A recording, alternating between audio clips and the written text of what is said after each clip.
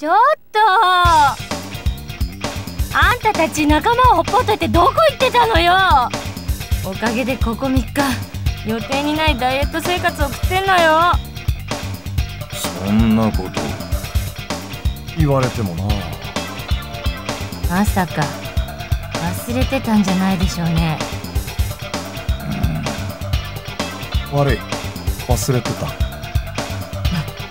なんですって？ちょっともう一度言ってみなさいよ。あのこちらの人は？ああフェイだまあ俺たちのおまけみたいなのかな。あんたねそれが仲間を忘れた人間が言うセリフ？